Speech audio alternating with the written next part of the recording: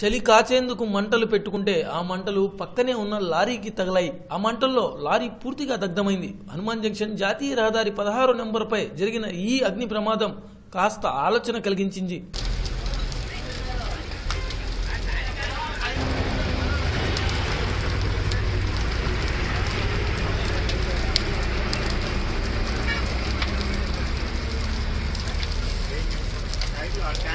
Thank you.